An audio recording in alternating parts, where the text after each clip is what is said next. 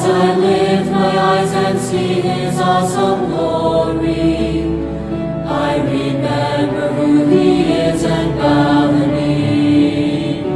Bow bow. He is king of all the ages, bow the knee.